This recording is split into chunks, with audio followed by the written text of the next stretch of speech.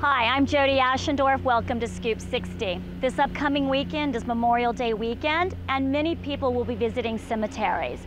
We in Cincinnati are lucky to have one of the most famous cemeteries in the nation right here, Spring Grove Cemetery. We thought you might like to take a visit with us.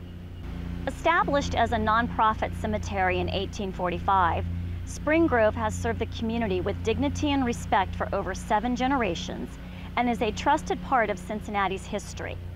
Our city's rich tradition and history is beautifully preserved among acres of towering trees, soothing lakes, and winding roadways.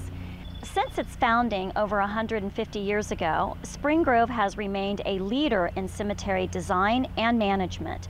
The landscape lawn plan concept was created here. Spring Grove remains a masterwork of the landscaping art, studied by horticulturists and admired by thousands of visitors.